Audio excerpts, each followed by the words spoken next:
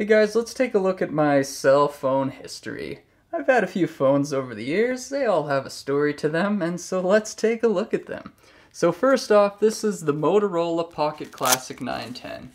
Now, this wasn't actually my cell phone, but it was my dad's cell phone. It was kind of the first cell phone in our house, and you know, I made some calls on this thing. And it was a good phone, it's pretty big. But hey. And then the first phone that was mine was this one, this Nokia Fido pay-as-you-go phone. I got this when I was in the 10th grade. I think it was a hand-me-down from my sister, and yeah, you know, I had to go to the convenience store to buy some minutes, and you get little receipts that you'd activate some minutes on your phone, and I don't think I phoned a lot of people just because it was such a hassle.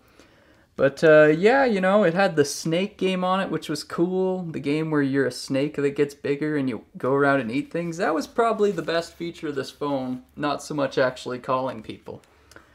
And then, actually, then there was this one, AudioVox. And actually, I had one prior to this, and it was a little smaller. It didn't have the camera, and it was a little more rounded shape. But I lost that one one day after school you know, maybe 11th or 12th grade, left it at a bus stop. It was gone, but this was the one I replaced it with. And yeah, you know, first phone that had a camera in it, pretty cool.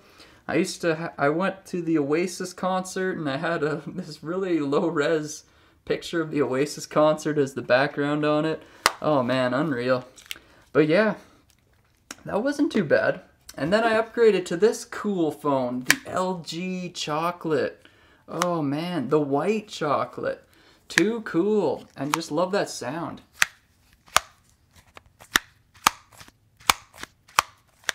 Yeah, no, this was great. And I had this when I was in college, living in residence. And you know, this phone had some nights out. It took a beating. I remember I had to get it fixed at one point, had to send it away because uh, the cable that connects these two components had broke. But uh, you know what? I eventually got the phone back and used it a little while longer. And I don't know if you can see it, but for whatever reason, I have a Superman logo engraved onto there. I'm not even a huge Superman fan, but it's there. It's there. And then uh, I think I had this phone very briefly. This was my girlfriend's old phone, and I needed a replacement for a bit. This is an LG just a thin little phone. I, I quite like this, you know. I, I use this for a very short time, but I love the size, you know. You put that in your pocket, you barely notice it. It's tiny, it's perfect. So yeah.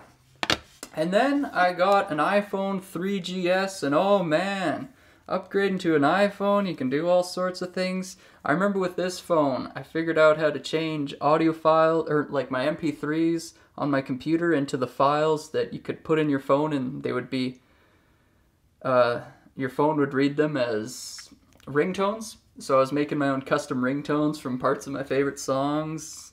That was cool except i used to grow sick of some of my favorite songs because they were waking me up in the morning.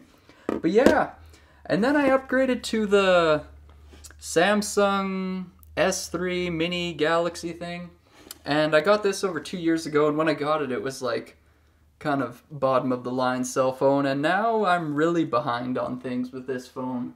A lot of people have much more advanced cell phones, but hey, you know, it can do apps and things.